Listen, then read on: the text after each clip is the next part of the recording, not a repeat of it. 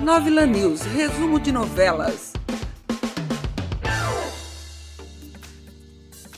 Laços de Família, capítulo 9, quinta-feira, 17 de setembro. Alma fala que Rodrigo sempre foi seu eterno paquera. Edu propõe a Helena pegarem Camila em Londres e viajarem juntos para o Japão.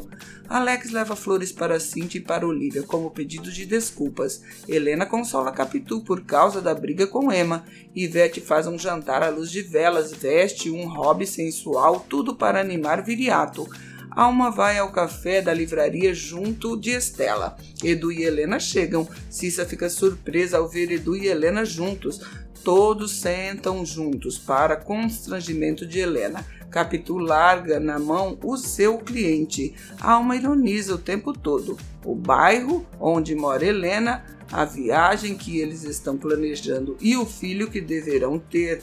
Ivete fica arrasada ao ver que errou o doce predileto do marido. Miguel pensa que Edu é o filho de Helena, mas dá a volta por cima da gafe cometida.